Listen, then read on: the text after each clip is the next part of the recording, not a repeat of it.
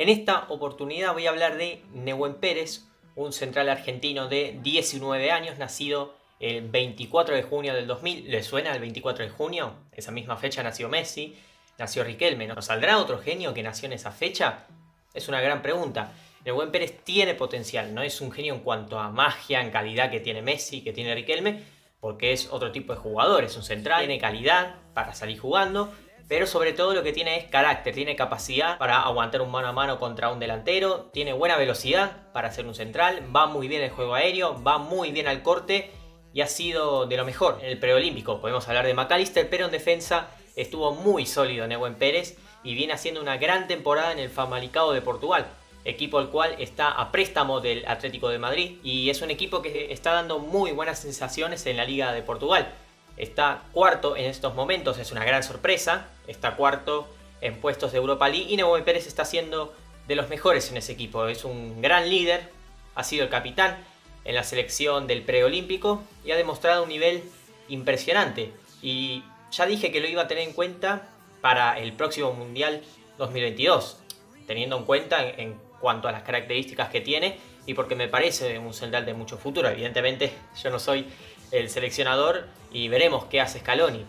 De momento lo convocó para lo que iban a ser estos amistosos que se iban a jugar en marzo, ya sabemos el motivo por el cual no se jugaron, pero Scaloni lo iba a tener en cuenta. ¿Lo tendrá en cuenta Scaloni a futuro?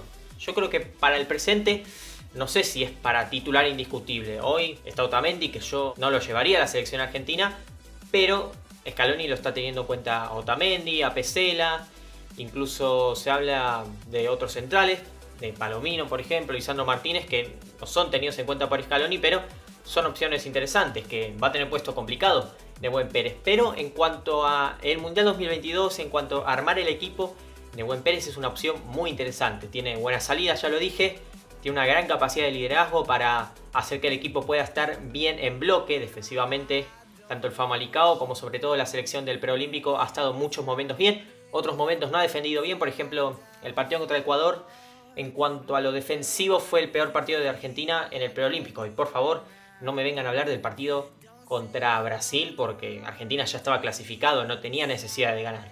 Estoy hablando de los partidos que Argentina salió a ganar y el partido contra Ecuador Argentina no defendió muy bien. Pero el resto del partido sí que ha defendido bastante bien y Nehuen Pérez ha sido el mejor en la defensa y yo creo que en una selección argentina que funcione bien, que él encuentre el jugador ideal para esa dupla central puede venir espectacular. Insisto, va bien en el juego aéreo, es un central muy seguro al corte, es un central que posicionalmente va muy bien y yo creo que puede venir espectacular. Hay que ver cuando vuelva del, préstamo cómo le va a ir en el Atlético de Madrid, si Simeone lo va a tener en cuenta, si le va a dar minutos, yo creo que podría venir muy bien, puede jugar en un estilo como el de Simeone, sería un jugador que se pueda potenciar? Yo creo que sí.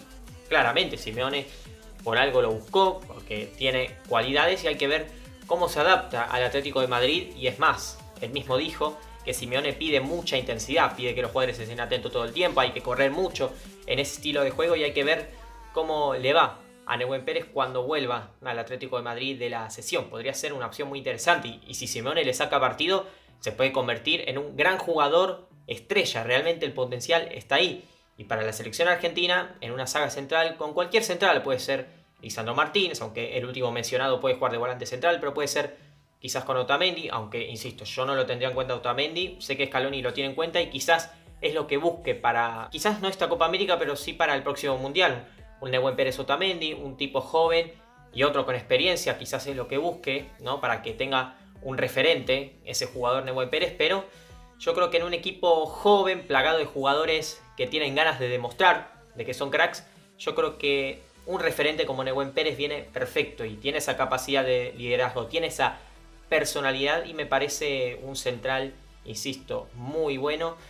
Y hay que ver si encuentra esas circunstancias en la selección argentina para destacar, como comento siempre, en cualquier jugador.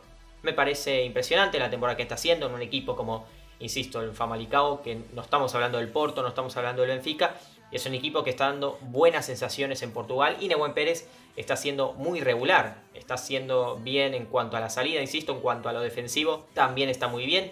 Y veremos qué tal lo hace a futuro en la selección argentina, siempre y cuando sea tenido en cuenta por Scaloni. Así que esta es mi opinión de Nehuen Pérez, he sido un poco breve porque tampoco hay demasiado para comentar de este jugador. Muchos de ustedes ya lo conocen, lo vieron en el preolímpico, a diferencia de otros jugadores de la Superliga que quizás, claro, porque como juega en Godoy Cruz o en Lanús o en algún equipo chico, no se habla tanto de él, pero Nehuen Pérez sí que se ha hablado bastante y es un jugador muy interesante. Así que si quieres opinar, si quieres comentar de este jugador, ponelo en los comentarios y yo les mando un saludo a todos y hasta luego.